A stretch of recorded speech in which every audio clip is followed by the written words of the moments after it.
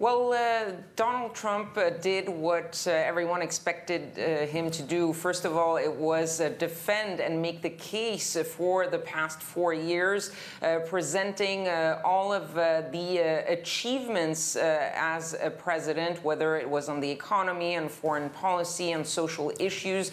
so Donald Trump spent a good deal of time on that, really making the case for why people should vote for him for four more years, but most of the speech was, uh, as you said, uh, an attack on uh, Joe Biden. And there were two aspects to that attack. The first one was pretty much uh, a sort of uh, answer to uh, Joe Biden's uh, speech last week at the Democratic uh, convention. Remember that there was a lot of talk of darkness versus light in that speech that Joe Biden gave. Well, Donald Trump replied that America was not a land cloaked in darkness. America was is the torch that enlightens the rest of the world he also answered uh, Joe Biden's uh, claim that this was a battle for the soul of America. Uh, Donald Trump saying that Joe Biden was not the savior of uh, that uh, uh, American soul, but he was instead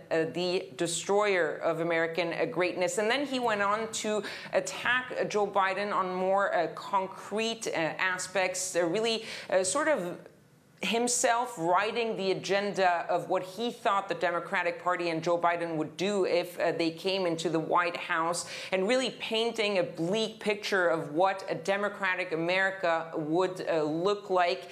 Uh, he also, uh, and that was something that people uh, were waiting to see, uh, he did talk about the unrest in U.S. cities. He mentioned cities like Minneapolis, like Portland, and like Kenosha, which is the latest place where we've seen a, a police shooting followed by protest, followed by violence, but he did not mention the name of Jacob Blake, the man who was shot by the police. He uh, really focused on criticizing and on attacking the looters, the rioters, those who were creating the violence, and again expressing his support for law enforcement and his refusal to bow down uh, to uh, what he sees as simply uh, rioters and not really taking into account uh, the peaceful part of uh, those protests and the call for racial equality. And this one sided message seems to be consistent with what the Trump campaign has been pushing all along.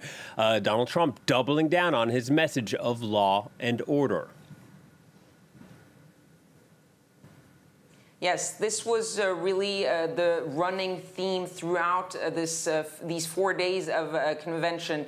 Uh, we heard most of the speakers and at least several every single night talking about in law and order. And Donald Trump's speech was no different. He really doubled down on that. He really tried to warn the people who were watching him of what would come if the Democrats came to power. And he used the examples of those cities where there has been unrest, as saying that see what is going on in these cities that happen to be run by Democrats, well, this will be all over the United States. And the reason why they're focusing so much on law and order is because the suburbs are going to be key, and people, moderates, independents, undecided voters are going to be key. And they feel that if they insist on this, on the threat to the American suburban life from this violence, they could get some of these independents or moderates back to uh, the Republicans. And that is why the line has been throughout the week